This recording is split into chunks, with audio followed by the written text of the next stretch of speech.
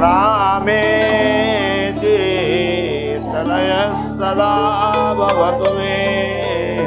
कुर्या सदा मङ्गलं शुभमङ्गल सावधान।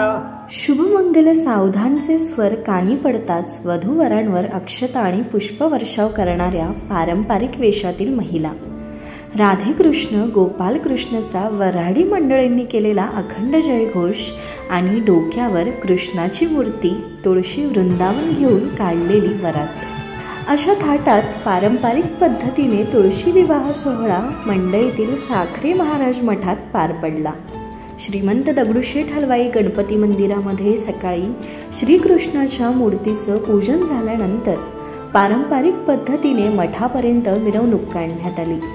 श्रीमंत दगडूशेठ हलवाई सार्वजनिक गणपती ट्रस्ट सुवर्णयुग तरुण मंडळाच्या वतीने मंडईतील साखरे महाराज मठ येथे तुळशी विवाह सोहळ्याचं आयोजन करण्यात आलं होतं.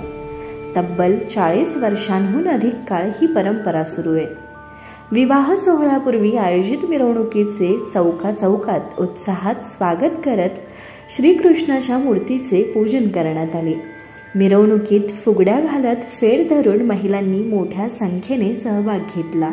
रांगोळीच्या पायघड्यांनी मिरवणुकीचा संपूर्ण मार्ग सुशोभित करण्यात आला होता. दगडूशेठ गणपती मंदिरापासून निघालेल्या मिरवणुकीचा समारोप समाधान चौक रामेश्वर चौक टिळक पुतळा मंडई मार्गे साखरी महाराज मठात झाला. त्यानंतर आयोजित विवाह सोहळ्याला पुणेकरांनी मोठ्या संख्येने हजेरी लावली. श्रीमंत दगडूशेठ हलवाई गणपती बाप्पांच्या मंदिरामध्ये गणपती बाप्पांचं विसर्जन झाल्यानंतर दुसऱ्या दिवशीपासून काकड्याला सुरुवात होते. आणि या संपूर्ण सगळ्या महिला पहाटे पाच वाजता गणपती बाप्पांच्या मंदिरामध्ये ही विविध भजनं आणि विठ्ठलाची पांडुरंगाची आळवणी करत असतात. आणि याची समाप्ती ही तुलसी विवाहाने होत असते. आणि आज तो आजचा मंगल दिवस. आपण प्रतिवर्षी जवळजवळ चाळीस वर्ष ही परंपरा चालू आहे.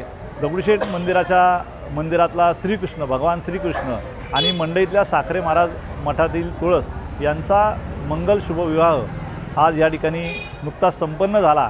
आणि जवळजवळ दोन एकशे भगिनी या कार्यक्रमाला उपस्थित होत्या. साखरे महाराज मठाच्या वतीने देखील त्यांच्या दीडशे दोनशे भगिनी उपस्थित होत्या.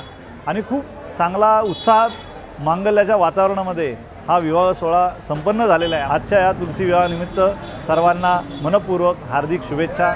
धन्यवाद.